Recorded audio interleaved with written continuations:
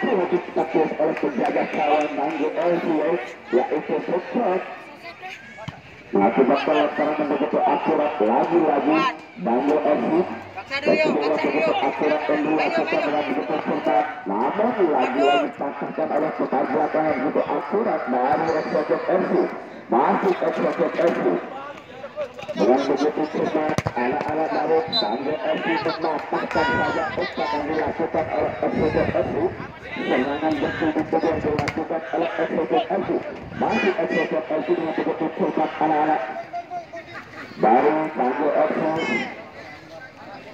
membuka peluang dan demi serangan yang dilakukan oleh Bangga FC namun dipatahkan lagi-lagi oleh pemain belakang dari Exotic FC Walau masih layak mencoba menghabis-habiskannya umpan silat yang dilakukan Michael pukul 10 yaitu Lingard langsung saja Lingard masih dipasang ke dalam pukul 15 mengakibatkan sepak produk apabila dilakukan oleh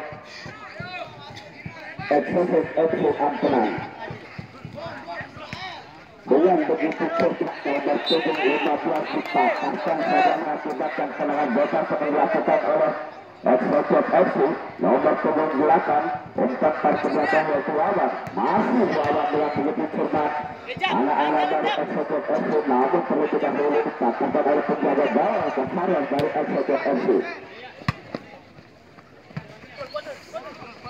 lagi-lagi anak-anak dari Exotic FC mencoba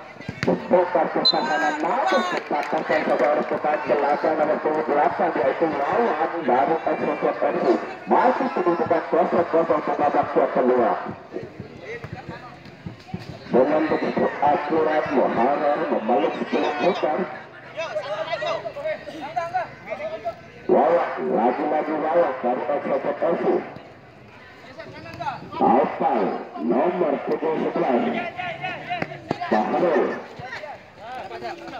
Langsung saja nomor punggung 10 Mampu dikatakan oleh nomor punggung 11 Apa yang terjadi bola selalu lebih dahulu meninggalkan garis lapangan Tendangan yang dilakukan nomor punggung 9 Yaitu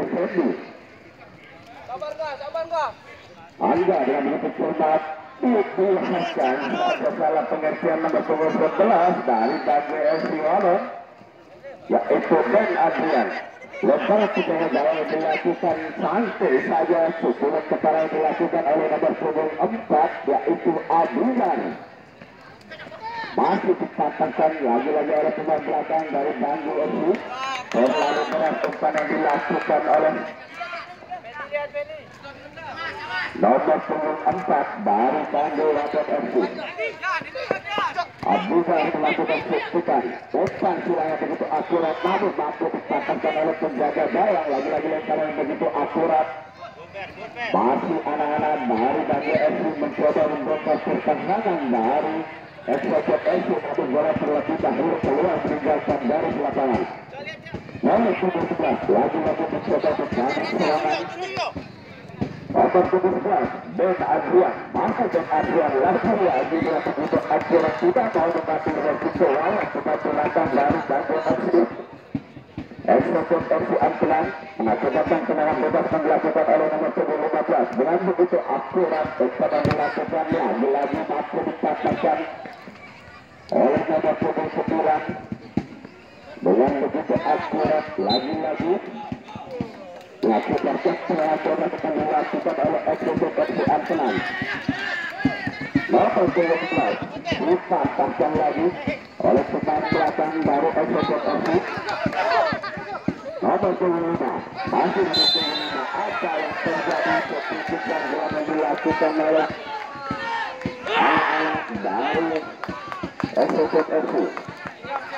untuk kedua kesebelasan manajer akan bertarung pada Waktu kedua untuk terakhir susunan pemain terus ke tempat satu dua. Terima kasih. Baik itu dari Singapura maupun dari Singapura.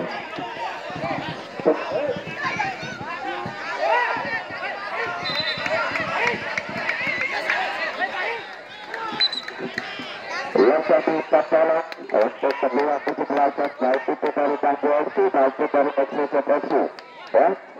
Ya, Jangan sampai hal-hal yang tidak kita inginkan terjadi. Ada wasit yang mengamankan pertandingan. Tendangan bebas yang dilakukan oleh Banggo FC Wadon. Jangan sampai pertandingan ini usai gara-gara kelahi atau salah paham. Mari kita sukseskan apa lagi yang terjadi? Lagi-lagi mampu dipatahkan oleh pemain belakang. Anak-anak dari Banggo FC. Lawan, lagi-lagi lawan dengan begitu cepat dipatahkan saja oleh nomor punggung lima yaitu Fahri dari nomor punggung empat pemain belakang yaitu Abizan dari Banggo FC. Empat tarik ke belakang, lagi-lagi baru memberikan setekan namun ke depan dikawal pesawat oleh anak-anak dari Banggo FC yaitu Sukro. Lemparan penjaga gawang, nomor punggung sembilan yaitu Ben Adrian. Ben Adrian mencoba melakukan setekan namun patah di kaki anak-anak. Empat tarik yang begitu akurat, lagi-lagi apa yang terjadi? Tidak ada satupun anak-anak dari Banggo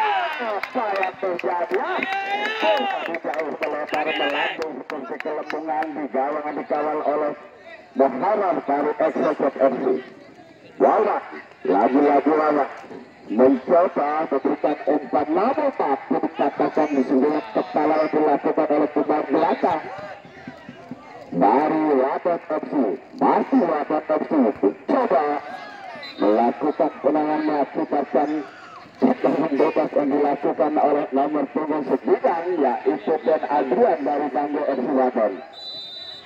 Lagi-lagi bola meninggalkan garis lapangan mengakibatkan tendangan bebas yang dilakukan oleh Executive FC Ampenan. Masih kosong-kosong di babak yang kedua.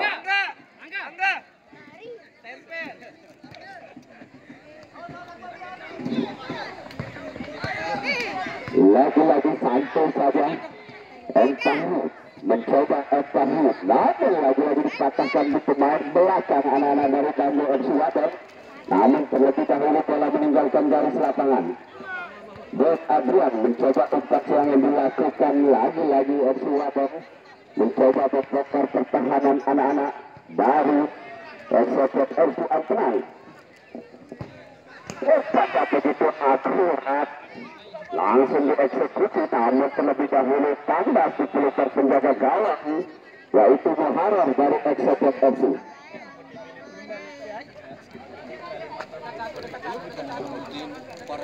jadi itu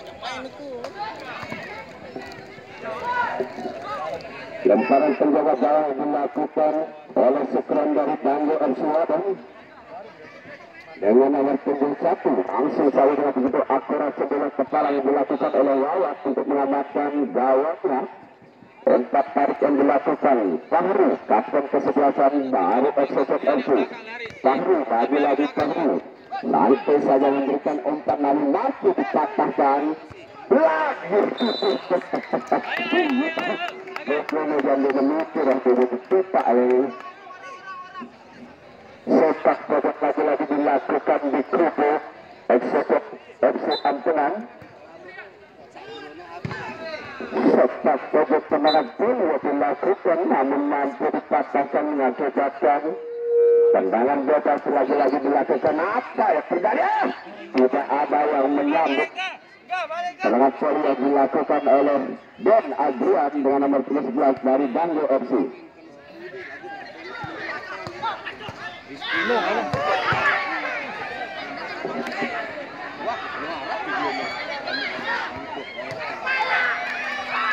buang, buang.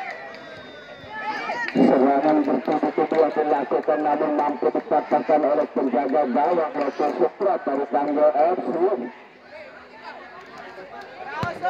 Masih pemain belakang lagi-lagi dengan begitu penasaran kapten kesebelasan dari Executive FC. Jauh melebar serangan yang dilakukan mengakibatkan serangan bebas yang dilakukan oleh Banggu Eksiator.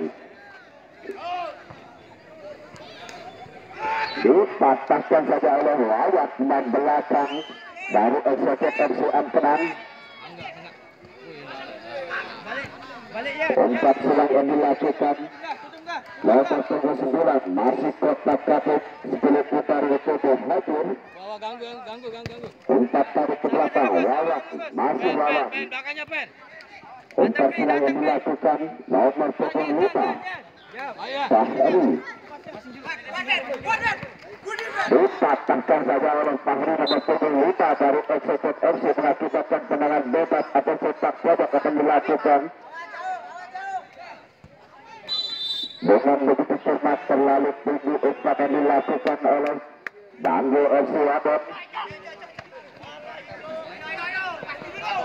masih nomor punggung sembilan memberikan umpan yang begitu akurat lagi-lagi dipatahkan oleh pemain belakang baru Executive FC yaitu lawan bek yang begitu handal. Terlalu keras umpan yang dilakukan lagi-lagi. Oleh anak-anak dari Executive FC Ampenan lemparan kepada gawang dilakukan satu saja terlalu lemah yang dilakukan oleh nomor punggung 15 yaitu data dari Mulyati dari Jago FC masih Mulyati dengan begitu cermat namun salah pengertian umpan silang yang dilakukan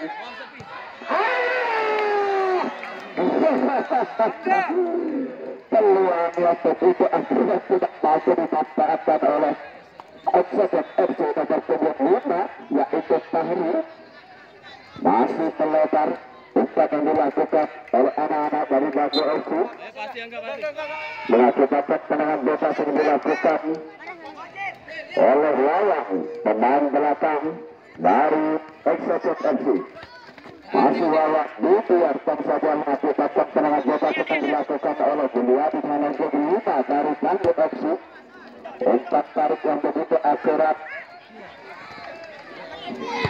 Lagi-lagi mencoba membongkar pertahanan dengan tendangan yang begitu akurat. Cantik saja anak-anak dari Bandung FC dipatahkan saja oleh penjaga gawang Muhammad sundulan kepala yang begitu akurat namun dengan begitu cerdik penjaga gawang membuang saja 10 putar tidak mau mengambil resiko untuk tarik ke belakang Wawan masih Wawan pemain belakang baru Executive FC namun mampu dipatahkan dengan begitu cermat Muharar mampu membaca arah 10 putar lagi-lagi sundulan kepala yang dilakukan mengakibatkan serangan bebas dilakukan oleh FC di Kuda Bangku FC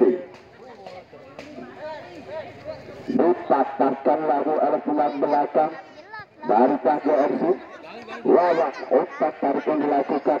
Lawan mencoba melakukan suntikan namun lagi-lagi patah di belakang. Dari Wabot FC nomor punggung 4 Rizky.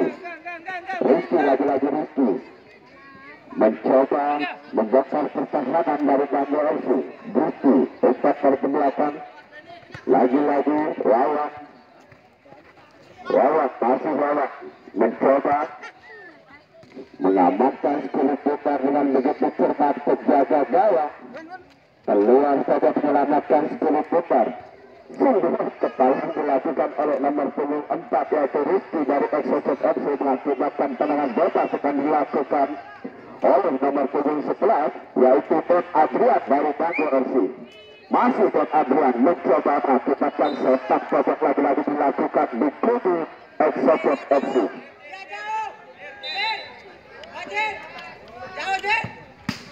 mampu diketuk oleh Muharrar penjaga gawang dari Executive FC namun bola terlebih dahulu keluar meninggalkan garis lapangan